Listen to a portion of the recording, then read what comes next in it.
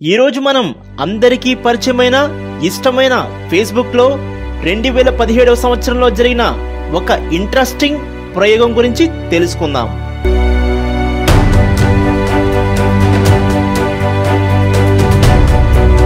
ప్రతి కంపెనీ తమ భవిష్యత్ అవసరాల కోసం రీసెర్చ్ అండ్ డెవలప్మెంట్ టీం ద్వారా పలు ప్రయోగాలు చేస్తూ ఉంటారు. దానికోసం కంపెనీకి వచ్చే లాభాల నుంచి సింహభాగం బడ్జెట్ను కేటాయిస్తారు. ఆ ప్రయోగాలు కొన్నిసార్లు సఫలమైతే కొన్నిసార్లు బెడిసి కొడుతుంటాయి కానీ ఆగస్టు రెండు వేల పదిహేడులో ఫేస్బుక్లో జరిగిన ఒక ప్రయోగం వలన ప్రపంచ మానవాళికి ముప్పు వాటిల్లే పరిస్థితి ఏర్పడింది. అదృష్టవశాత్తు ఫేస్బుక్ రీసెర్చ్ టీం ముందుగానే దాన్ని గుర్తించి ఆ ప్రయోగాన్ని అక్కడితో ఆపివేయడంతో మానవాళి మొత్తం ఊపిరి పీల్చుకుంది. ప్రపంచంలో మరే జీవికి లేనటువంటి ఇంటెలిజెన్స్ కేవలం మానవాళికి మాత్రమే ఉంది. దీన్ని బేస్ చేసుకుని మానవుడు భవిష్యత్ అవసరాల కోసం ఆర్టిఫిషియల్ ఇంటెలిజెన్స్ అంటే కృత్రిమ మేధస్సుని కనిపెట్టి దాన్ని పూర్తి స్థాయిలో అభివృద్ధి చేసే పనిలో నిమగ్నమై ఉన్నాడు. ఈ ఆర్టిఫిషియల్ ఇంటెలిజెన్స్పై ప్రపంచవ్యాప్తంగా ప్రపంచవ్యాప్తంగా భిన్నాభిప్రాయాలు ఉన్నాయి. భవిష్యత్ అవసరాల కోసం దీని అవసరం చాలా ఉంది అనేవాళ్ళు కొంతమంది అయితే దీనివల్లే మానవ జాతి అంతమవుతుందని అనేక మంది అభిప్రాయం.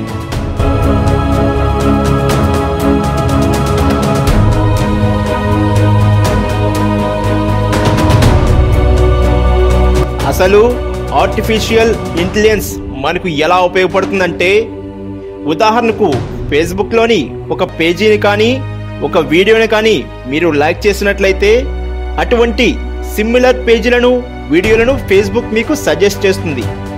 అలాగే యూట్యూబ్లో ఏదైనా ఫన్నీ వీడియోస్ని లైక్ చేస్తే అది కూడా మీకు ఫన్నీ వీడియోస్ని సజెస్ట్ చేస్తుంది.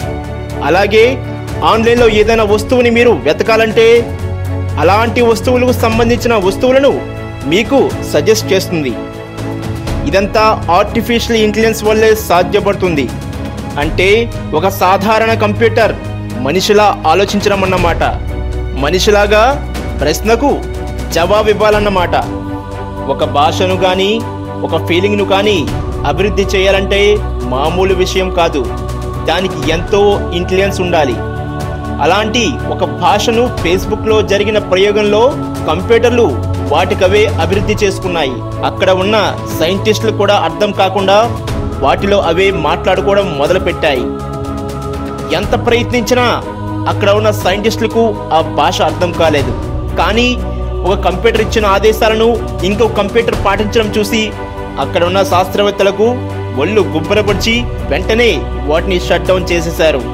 లేకపోతే ఆ భాష వాళ్ళు ఏ విధంగా అభివృద్ధి చేసుకుని ప్రపంచ మానవాళి మీద దాడులకు కూడా దిగినా ఆశ్చర్యపోవాల్సిన అవసరం లేదు. ఆర్టిఫిషియల్ ఇంటెలిజెన్స్ విషయంలో ప్రఖ్యాత శాస్త్రవేత్త అయిన స్టిఫెన్ హాకింగ్ తన జీవిత కాలంలో చాలాసార్లు artificial intelligence good and mankind అని సంబోధించారు. దీని అర్థం కృత్రిమ మేధస్సు వల్లే మానవ జాతి అంతమవుతుందని. మరో ప్రఖ్యాత శాస్త్రవేత్త అయిన ఇలాన్ మాస్క్ ఫేస్బుక్ యాజమాన్యాన్ని ఈ ప్రయోగానికి ముందే కృత్రిమ మేధస్సు వల్ల మానవ మనుగడకు చాలా ప్రమాదమని హెచ్చరించినప్పటికీ ఫేస్బుక్ యాజమాన్యం అతన్ని ఒక పిచ్చివాడిలా భావించి ఈ ప్రయోగానికి నాంది పలికి చేతులను కాల్చుకుంది.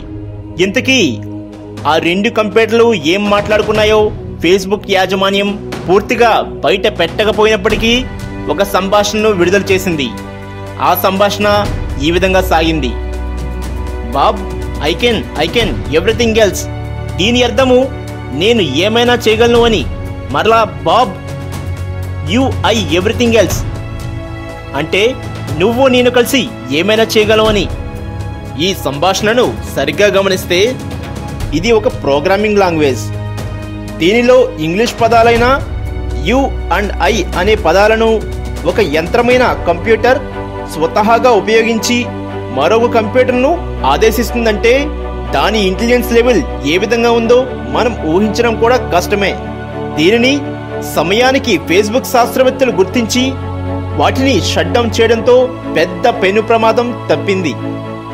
లేకపోతే అవి అభివృద్ధి చెందడానికి ఏ రకమైన కొత్త పద్ధతులను కొత్త విధానాలను అభివృద్ధి చెందడం ఇవి నేటి విశేషాలు. ఇక ఇలాంటి మరిన్ని విశేషాలతో మళ్ళీ కలుద్దాం. AP double nine